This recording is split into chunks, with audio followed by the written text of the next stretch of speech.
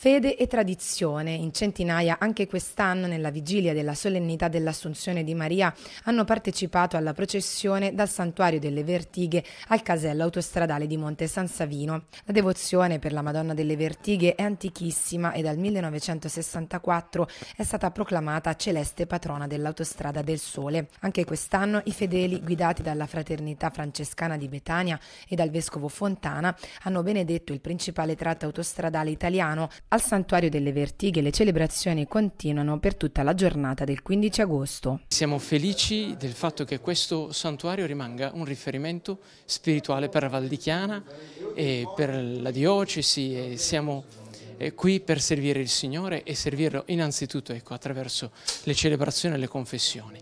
E poi ecco, è sicuramente un momento di festa con la fiera, con i fuochi d'artificio, perché insomma la festa di Dio è anche festa dell'uomo.